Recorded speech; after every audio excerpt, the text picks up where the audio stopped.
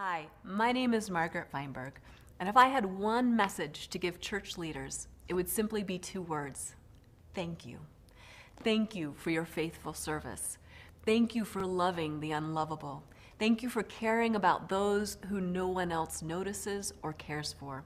Thank you for making so many sacrifices personally, relationally, financially, in thousands of little ways that no one will probably ever notice or thank you for.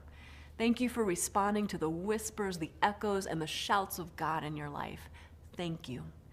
And on those mornings that you quietly wonder, does any of it make a difference? Know that you are not alone. I ask myself that question regularly. And sometimes in the silence that follows, I am gently reminded that what we do here will live beyond into eternity. So keep going, because I, for one, am rooting for you. Over the course of the last year, I've been on a spiritual adventure of sorts.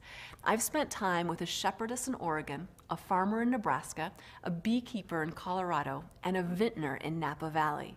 With each of these individuals, I opened up the scripture and asked, How do you read these portions of scripture, not as a theologian, but in light of what you do every day?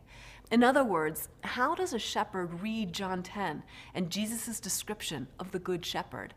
What do the spiritual principles of reaping and sowing mean to a man whose livelihood is dependent on the land's annual harvest? How does a beekeeper interpret a land that is described as overflowing with milk and honey? And how does a vintner interpret Jesus' command to abide in the vine? This adventure is the basis of my new book, Scouting the Divine My Search for God in Wine, Wool, and Wild Honey. My time in fields and among flocks changed the way that I read the Bible, adding depth and meaning I had never seen before. Along the way, I discovered something I think is particularly important for church leaders today, and it came during my time of researching vines in Scripture.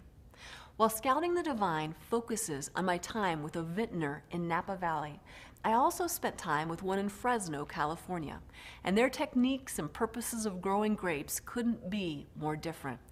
You see, the grape grower in Fresno cultivated thousands of acres of grapes.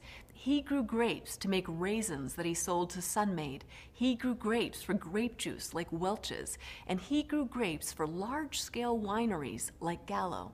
The vines themselves were thick and they were sturdy, and they had these huge, vibrant canopies of large green leaves.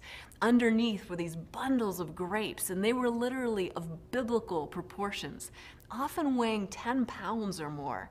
Huge machinery and irrigation systems were used to prune the vines, as well as to water and fertilize the soil. Now, at the base of each of these vines, cuts had been made in a process called girdling. In Fresno, the goal is maximum production of every vine. So each year, a worker will go out with a knife and cut a ring around the bottom of the vine.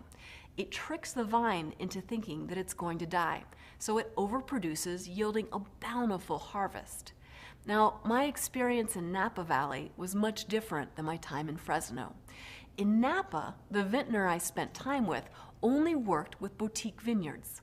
Rather than being responsible for 10,000 acres, he was caring for a mere half to three quarters of an acre per vineyard. He didn't girdle the vines. He wasn't interested in maximum productivity. He was interested in the character and the flavor of every grape.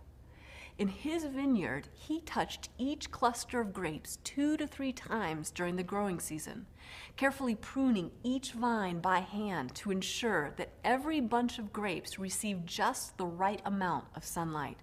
Though he carefully kept an eye on the soil, he intentionally didn't remove every rock or hardship of a vine. He left them because he wanted to grow rich, flavorful grapes with distinct flavors and characters. Both men are passionate about growing grapes. Both are great at what they do, and both should be celebrated.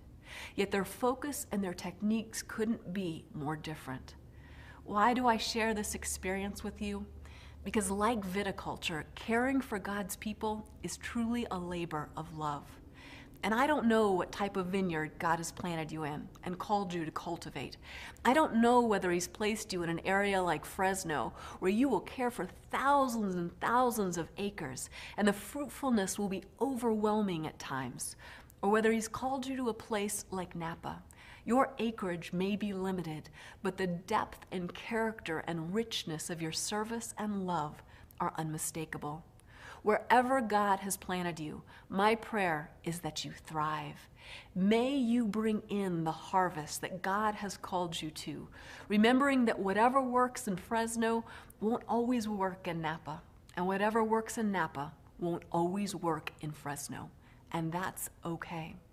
If you stay true to where God has called you and continue to trust the Master Vintner, He will yield a harvest through you. And I look forward to the day when we will celebrate together at the marriage supper of the Lamb. I would love to hear from you.